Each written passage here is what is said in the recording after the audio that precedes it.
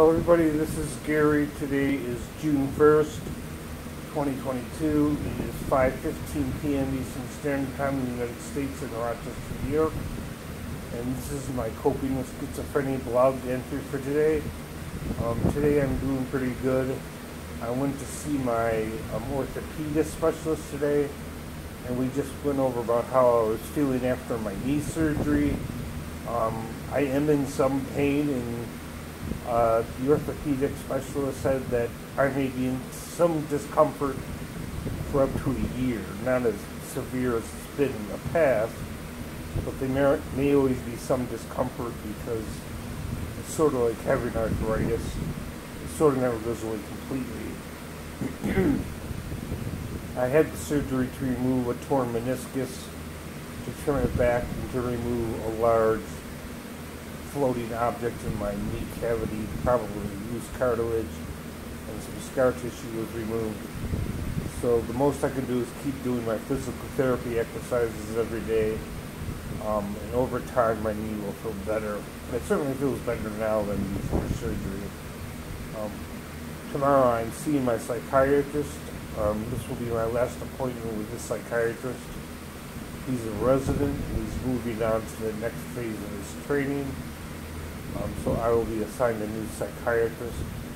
I will be keeping the same therapist. Next Wednesday, um, I will start group therapy again, and I will see my psychotherapist on the 13th of June. So um, I've got quite a bit of psychotherapy, psychiatric appointments coming up.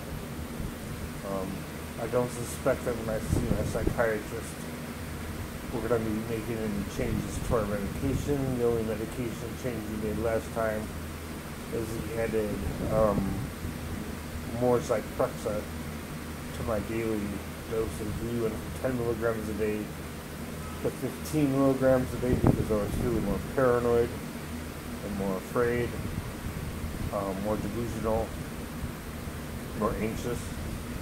As far as today goes, my psychiatric symptoms aren't all that bad paranoia is not too bad.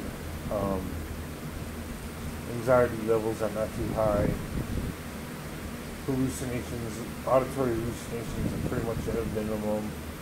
Um, anxiety levels are pretty low. So um, I'm doing okay as far as my psychiatric symptoms are concerned. Um, not much else going on.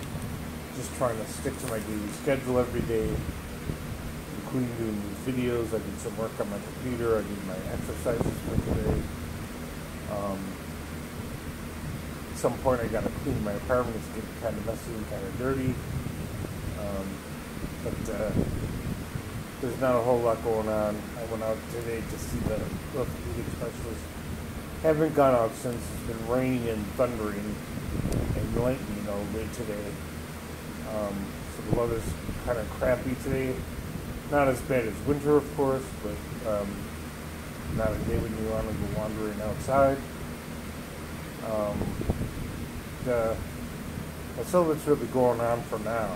Um, as far as my knee's concerned, it's just a step-by-step thing.